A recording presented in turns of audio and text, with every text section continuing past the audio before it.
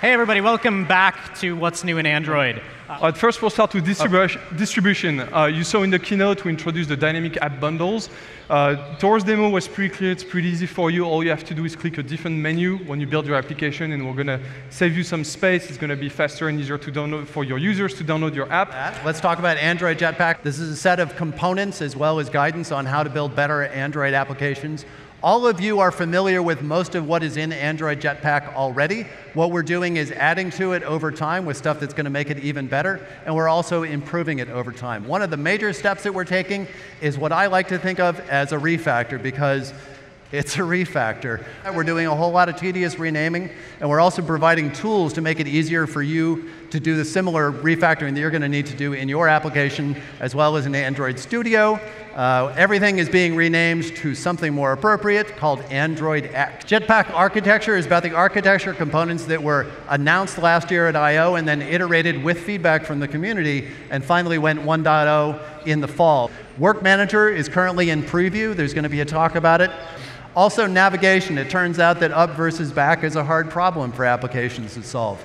We are making that much easier, and we're integrating with the tool to make it even easier yet. Uh, Kotlin, uh, it's this little thing we announced last year. So we're busy. We want to make it better for all the Kotlin developers out there. I'm sure there's a lot of you here today.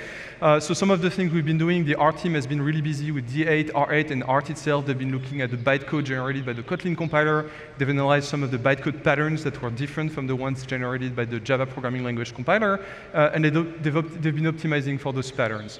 Uh, we've also been adding a lot of uh, nullability annotations to our Java APIs, both in the core libraries so libcore and our support libraries uh, to make it easier for you to use the uh, platform APIs when you're, when you're in Kotlin. Uh, and finally, we launched on GitHub a new library called Android KTX. It's a set of, of uh, Kotlin extensions for existing platform APIs.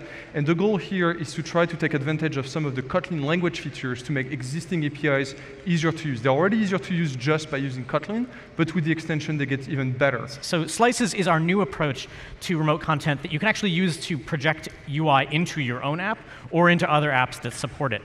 Uh, it's very structured. Uh, this is not sort of here's a canvas or an absolute layout, go nuts with it. Um, we give you uh, a, a, structure to fill out and a whole bunch of very flexible templates in which to populate that data with some display hints so that the receiving end of the slice, the slice host, kind of knows what to do with it.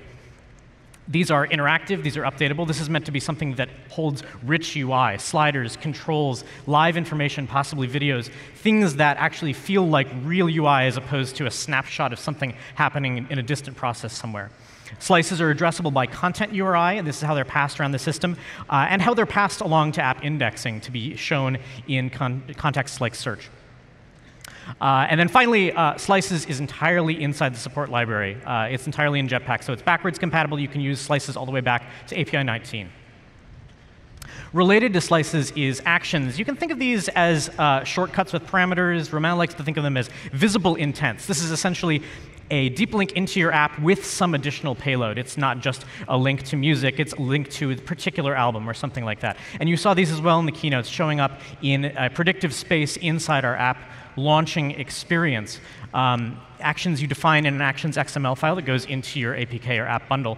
Uh, and that too can get registered with app indexing so that uh, search results and predictive features can show those actions.